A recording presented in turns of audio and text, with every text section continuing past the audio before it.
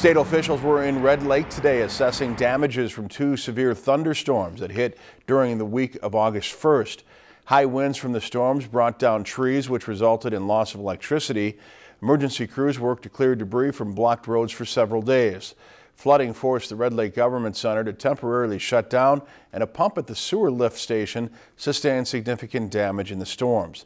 The tribal emergency manager reported an estimated $61,000 in damage.